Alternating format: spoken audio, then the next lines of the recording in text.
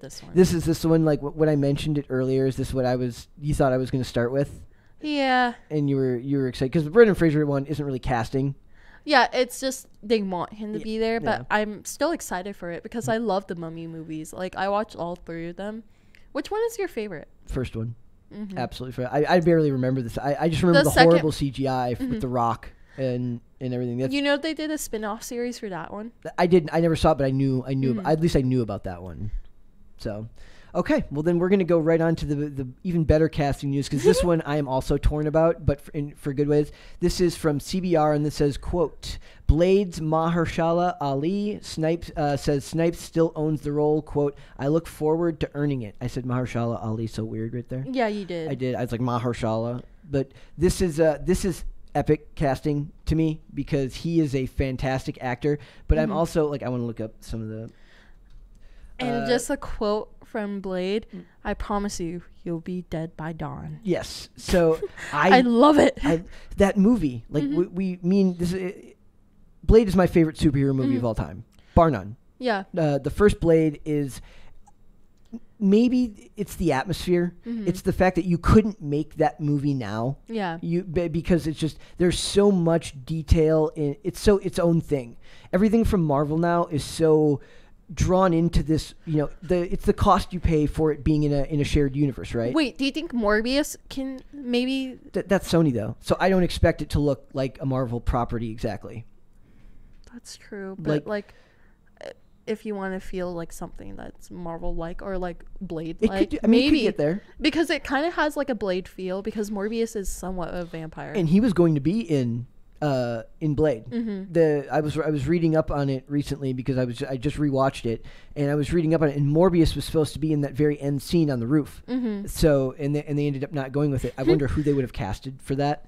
But Mahershala Ali uh, is an incredible actor. Mhm. I do wonder if he might be a little like I'm guessing he's going to bulk up for Yeah. the role. You know, so I, I don't know, but like he does. Like you look at that picture there, He looks like a Blade. it's spot on right Mhm. there. Like I was I was a little bit hesitant at first. And it was a good kind of hesitant because I Mm. like him as an actor, but I Mhm. just wasn't sure if he was the right for that Do you role. think they're going to give him a fade like how Wesley Snipe had that fade, that signature blade? the cut yes. the cut look in the back. I hope Mhm. so. I hope I hope they don't just go with a traditional fade and they actually go because there's a lot of detail in that. Mhm. Like that haircut must have been. I, like I don't know if that was like a. It had to be a cut, right? It couldn't have It been has to be a cut because like I was watching videos how they do certain cuts. Like legit they have to measure out like everything. Yeah. So like I think it's like if they do, then I'm so happy and that'd be like a great thing, like a great homage to fans Absolutely. to have that little Easter egg. And one of the reasons I like this so much is because one of the things I complain about a lot with these issues is Mhm. the the lack of respect shown to the pre- to their predecessors Mhm. and the lack of respect shown to fans. Mhm. And Mahershala Ali clearly has respect for Wesley Snipes Mhm. uh, in the previous production. Yeah. So it says, uh, and this is from uh, CBR, and the article was written by uh, Noah Dominguez. Mm-hmm. So it says, uh, Blade star Mahershala Ali is eager to earn his place as Marvel's resident vampire hunter, saying the role and the excitement it brings still belongs to Wesley Snipes. mm-hmm. Uh, what I look forward to is earning it, Ali said during a recent interview with Jake Hamilton of Jake's Takes. I look forward to earning, you know, there there's an anticipation for it. There's an excitement for it that he owns that he owns, that Mr. Snipes owns, you know? Uh, and so and and so in filling his shoes, it's a little hard to read that because Mhm. he's he's clearly saying it's uh, it's transcript. Uh, I'm just wor- I'm just working to earn my place in this. I'm just excited to get going and do the work. So he sounds like he's excited to play this role, to do Yeah. this character. Because it is a reboot, so they're gonna reintroduce. Do you think he's gonna be a part of Phase Four? Of Uh, well, Marvel? technically, this this is I don't know. Is it's it's a movie and not a TV show, right? So it's uh, and they've casted Delroy Lindo in Mm-hmm. Yeah. it. And I don't know what character he's going to play. Mhm. Uh, some people were saying Whistler.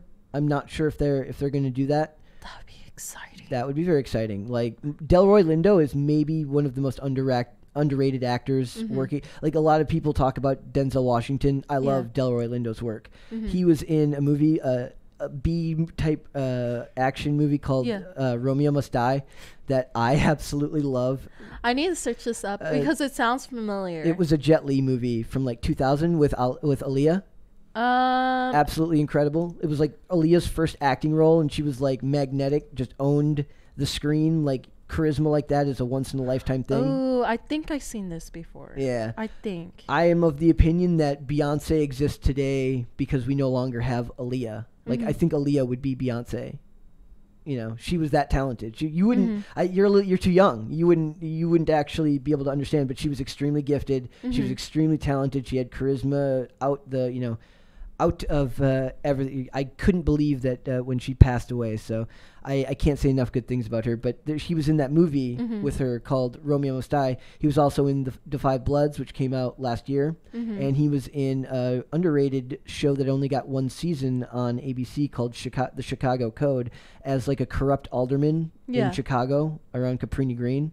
So very very talented actor. So I'm looking forward to seeing that. I'm looking forward to see what he does with the character. Uh, I hope he bulks up a little bit. Oh, okay. Now I remember.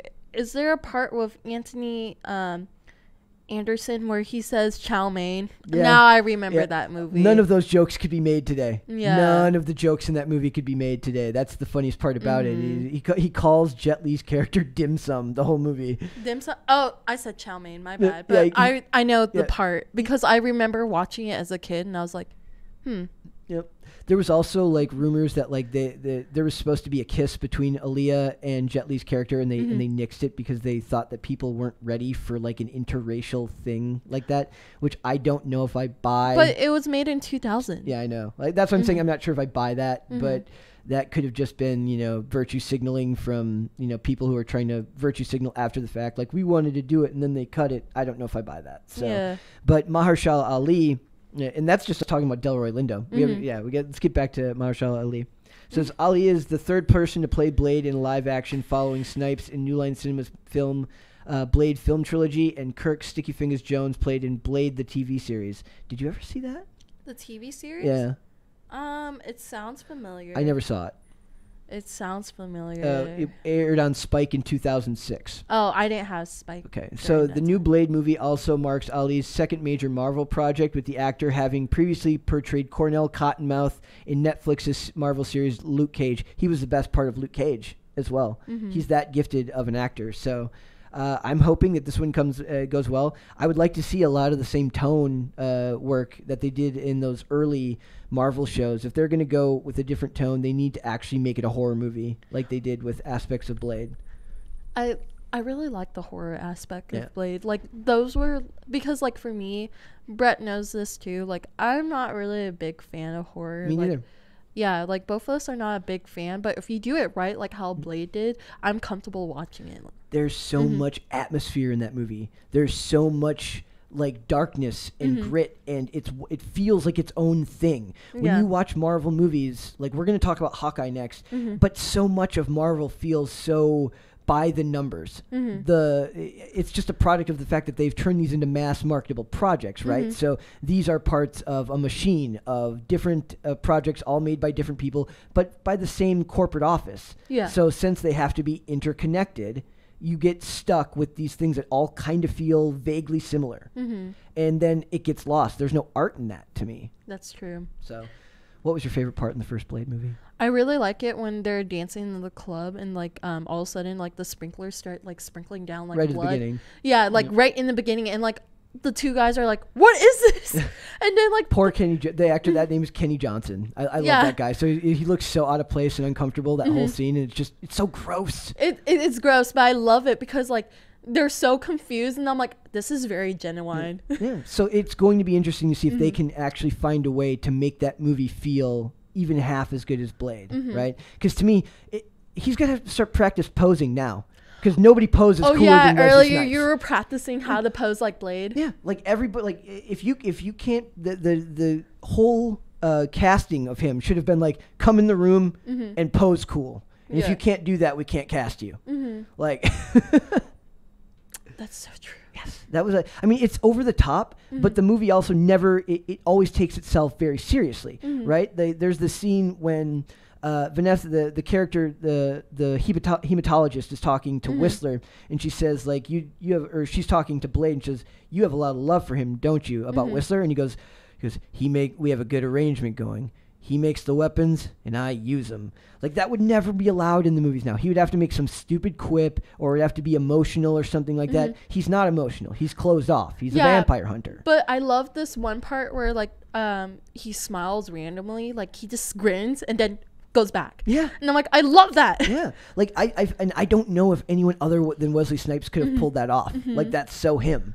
Yeah, but it was kind of sad that like they didn't like continue with like that whole thing because like he did like battle with like drug issues. But other than that, like I loved these movies. Like Yep.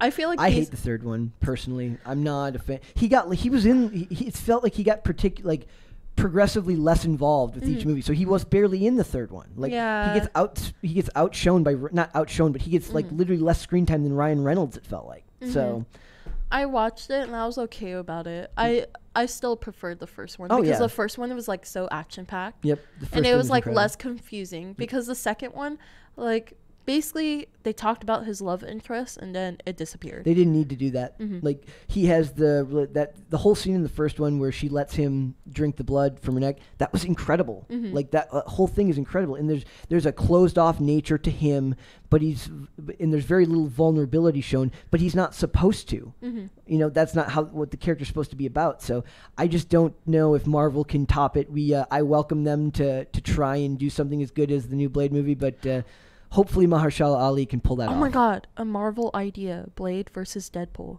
Yeah, that's that's been talked about before, right? I mean, they could do that now. They've got Mm-hmm. Yeah. Ryan, they could bring Ryan Reynolds back. So, and they've got the yeah, they they've got the, the yeah, they got the multiverse. So they, Yeah. maybe they can bring Wesley Snipes in. Mhm. That'd be cool. Mhm. I don't know.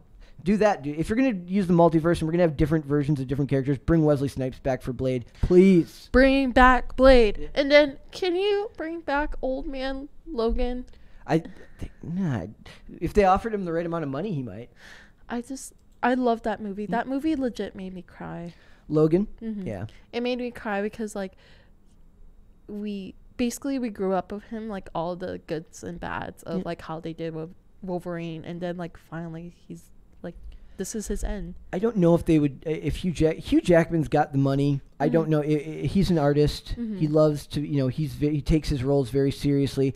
I don't know if he would want to ruin that legacy with such a good send off. Mm-hmm, Right. That's true. So I hope if they do recast um, Wolverine, please choose somebody that was like very dedicated to their job, like how Hugh Jackman was. Have you seen the behind the scenes of Old Man Logan, like how he was like training for it?